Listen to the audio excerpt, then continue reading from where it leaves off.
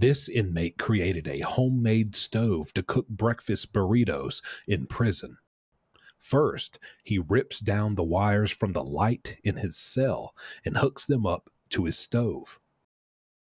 Then he adds a little barbecue,